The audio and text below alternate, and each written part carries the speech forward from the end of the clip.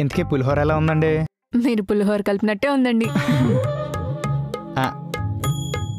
అంటే బాగుందంటున్నారా? బాగాలేదంటున్నారా మీరు పులిహోర బాగా కలుపుతారు కాబట్టే కదండి నేను పడిపోయాను. అంటే ఇది బాగుందని చెప్తున్నాను.